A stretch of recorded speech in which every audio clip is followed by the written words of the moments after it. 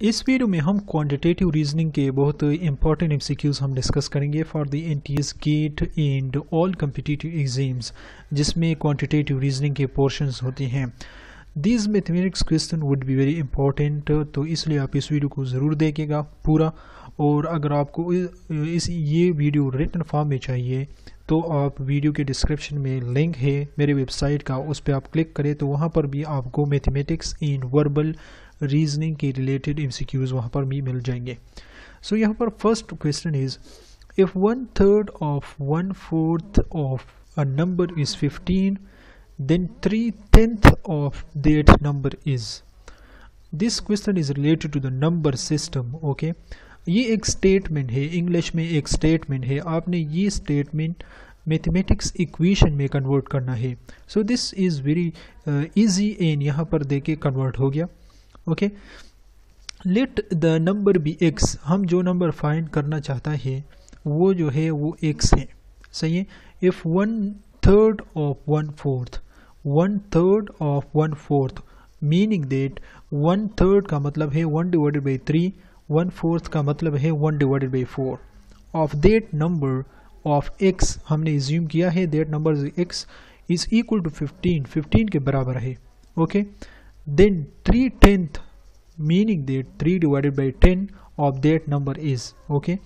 तो यहाँ पर देखें कि 1 divide by three multiply by one divide by four and multiply by x okay is equal to 15 ये तो फ़र्स्ट स्टेटमेंट है। This if one third of one fourth of that number is if the if a number is 15 okay no ये आप multiply करें 4 multiply by three is equal to 12 हो जाएगा। उसके बाद आप क्रॉस मल्टीप्लिकेशन करें तो x is equal to fifteen multiply by twelve is equal to one eighty होगा। ओके नो वन एटी के बाद यहाँ पर then three tenth of that number is तो इस नंबर के साथ आपने मल्टीप्लाई करना है three tenth which is three divide by ten is equal to fifty four okay तो the answer is fifty four which is D option is the correct option okay सिर्फ़ यहाँ पर जो ट्रिक यहाँ पर यूज़ होता है वो ये है कि आपने स्टेटमेंट को इक्वेशन में कन्वर्ट कर देना है। रिलेटेड क्वेश्चन हम सॉल्व uh, करते हैं which is in other one find the number when 15 is subtracted from 7 times the number. The result is 10 more than twice of that number.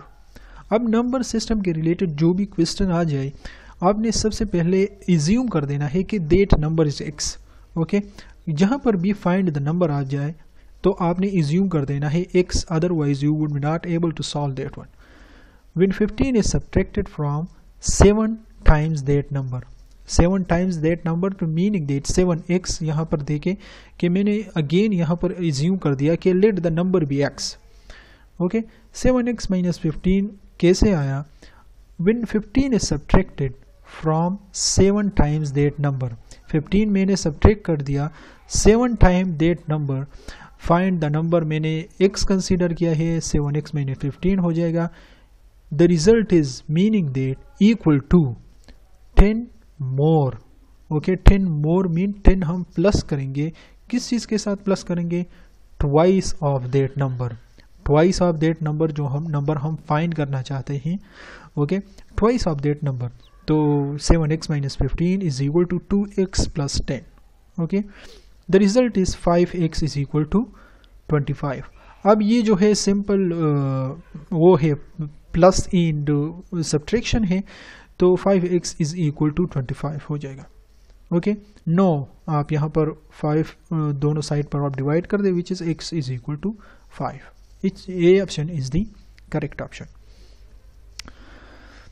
third one is uh, the difference between a number and its three fifth is fifty what is the number again यहाँ पर आ गया what is the number या find the number तो मैंने assume कर देना है again that let the number be x okay then x minus three divided by five x is equal to fifty यहाँ पर the difference between a number in its three fifth is okay अब यहाँ पर three fifth is fifty x minus three divided by five x हो जाएगा which is the result is fifty okay आप यहाँ इसको सिंप्लीफाई कर दें तो two divided by five x is equal to fifty हो जाएगा.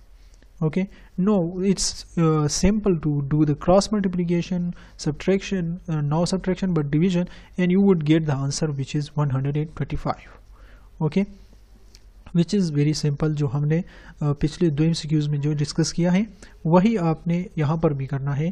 Convert the statement into the mathematical equation okay now this question is a little different from the previous three this is related to the average one.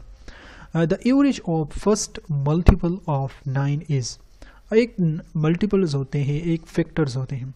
अब nine के multiples क्या है? Nine के multiples जो है, वो एटीन है twenty seven है, और ट्वेंटी सेवन के बाद थर्टी सिक्स होता है।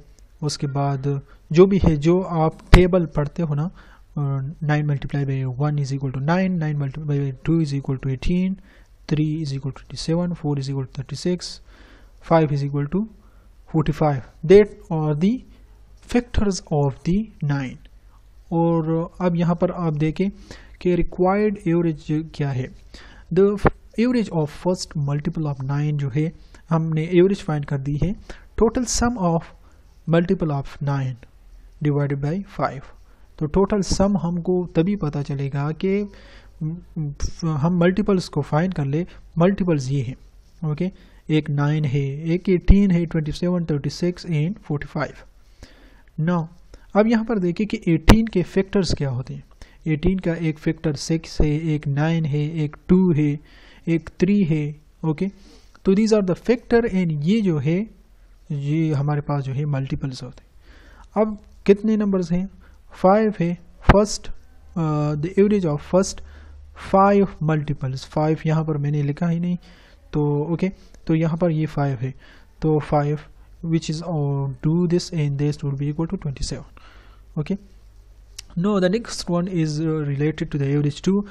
Uh, find the average of first 97 natural number. 97 natural number का आपने एवरेज फाइंड करना है।